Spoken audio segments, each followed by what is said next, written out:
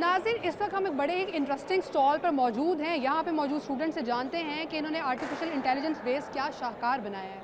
अस्सलाम वालेकुम। वालेकुम अस्सलाम। क्या नाम है आपका? अब्दुल अहद।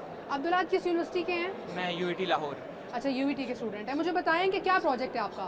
अच्छा सो हम लोग ये करने की कोशिश कर रहे हैं कि इस वक्त जो नर्सेज हैं ना, वो बहुत थोड़ी मकदार में और पेशेंट्स जो है ना, वो बहुत ज़्यादा हो जाते हैं। तो नर्सेज जो होती हैं, वो बहुत ज़्यादा बर्डन होता है उनके ऊपर। हम लोग ये कोशिश कर रहे हैं कि उनके जो कुछ टास्क हैं, जो उनकी एक्टिविटीज़ उन्होंने परफॉर्म करनी होती है दिन में, उनको ऑटोमेट करने की कोशिश कर रहे हैं ए के थ्रू हम लोगों ने जो एक हॉस्पिटल वार्ड के अंदर जो कैमराज ऑलरेडी लगे हुए उन कैमराज के अंदर एक हम सॉफ्टवेयर सोल्यूशन प्रोवाइड कर रहे हैं, जो क्या करेगा कि उन कैमराज के थ्रू पेशेंट की जो एक्टिविटीज़ है, उनको लॉग करके तो एक डैशबोर्ड के ऊपर वेबसाइट के ऊपर जो है ना डॉक्टर के लिए और नर्स के लिए जो है ना सामने शो कर देगा। तो उससे डॉक्टर का डॉक्टर के लिए भी आसानी हो जाएगी नर्स के लिए भी आसानी हो जाएगी कि एक तो नर्स को वो एक्टिविटी सेल्फ परफॉर्म नहीं करनी पड़ेगी और डॉक्टर को ये होगा कि वो उस डाटा को एनालाइज कर सकेगा।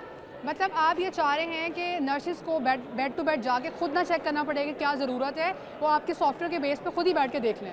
जी, बिल्कुल। सो बेसिकली नर्स की काफ़ी सारी ड्यूटीज़ होती हैं। उन उन सारी ड्यूटीज़ में से एक हम लोग स्पेसिफिक जो ड्यूटी है, वो ये है कि एक्टिविटी जो जो भी पेशेंट की एक्टिविटी है, जैसे वो कुछ खा रहा है, कुछ पी रहा है, वो कुछ ने कोई दवाई ले ली है ओरल ली है इंजेक्शन दिया है वो चल रहा है, वो वॉक करता है, वो बैठ रहा है। सारी उसकी उसकी स्लीप रूटीन जो है, उसको हम लोग एक, हम लोग कैमराज के थ्रू रिकॉर्ड कर लेते हैं। और रिकॉर्ड बेसिकली हम लोग उससे पता, निकाल लेते हैं कि अच्छा जी, इस पेशेंट ने किस वक्त क्या एक्टिविटी की थी।